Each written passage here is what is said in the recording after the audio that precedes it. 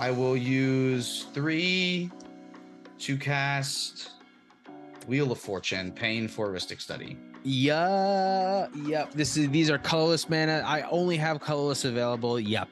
Cool. Yeah, yeah, it's good with me. So if I understand correctly, Cam is going to have 21 damage to deal out. Correct.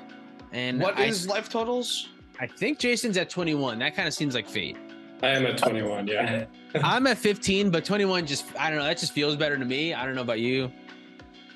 I'm at 38. All right. Well, it's definitely not Corbin, the non-blue player. Yeah.